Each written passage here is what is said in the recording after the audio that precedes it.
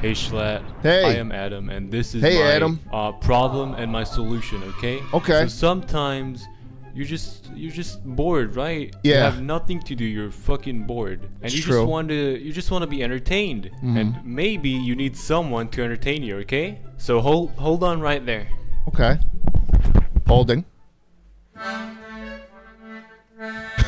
I think I'm good, bro. present to you I the accordion man. With the accordion man, whenever you are bored, he can just play you a little tune.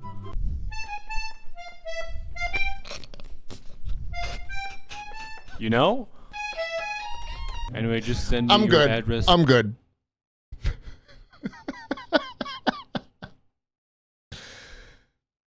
okay.